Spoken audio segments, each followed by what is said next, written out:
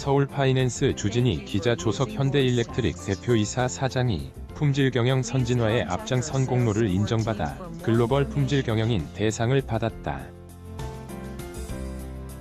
현대중공업 그룹은 조석 사장이 경북 포항시 포항공과대학교에서 개최된 2022년 한국품질경영학회 추계학술대회 품질상 시상식에서 글로벌 품질경영인 대상을 수상했다고 21일 밝혔다. 한국품질경영학회는 국가 산업발전과 품질 경쟁력 제고에 기여하고 기업의 사회적 책임을 성실히 이행한 경영인에게 이 상을 수여하고 있다.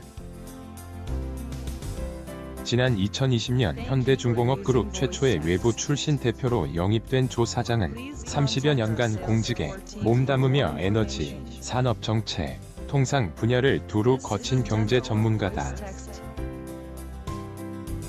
현대일렉트릭은 조 사장 취임 1년 만에 흑자 전환에 성공했으며 이후로도 견조한 실적을 유지하며 종합에너지 솔루션 기업으로서 제도약의 발판을 마련했다는 평가를 받고 있다.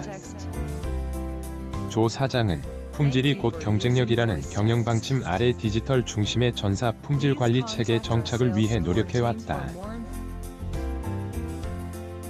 울산 변압기 공장의 스마트 팩토리 준공과 함께 조립 공정 프로세스 자동화, 사물 인터넷, 빅데이터 기반의 품질 분석, 관리, 디지털 검사 장비 도입 등 품질 경영을 적극 추진해 조 사장은 기본에 충실한 품질 방침과 품질 관리 시스템 고도화의 중요성을 늘 강조하고 있다며 앞으로도 지속적인 품질 혁신 활동을 통해 현대 일렉트릭이 사회의 보탬이 되는 기업이 될 수 있도록 최선을 다하겠다고 말했다.